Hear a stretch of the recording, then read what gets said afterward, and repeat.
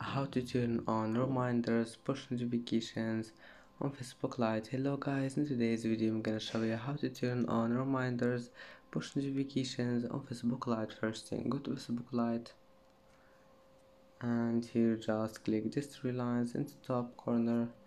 And uh, go down until you find settings. And then notifications.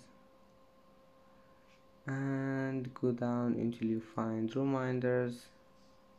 And now all you need to do is just click on this one here if you want to turn it on. And go back and it will be saved. And that's it for today's video. If you like this video please don't forget to like and don't forget to subscribe. And thank you for watching this video until the end and now see you in the next video